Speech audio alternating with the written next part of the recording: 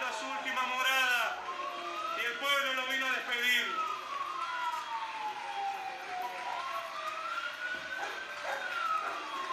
La gente lo quiere despedir, es emocionante. ¿eh?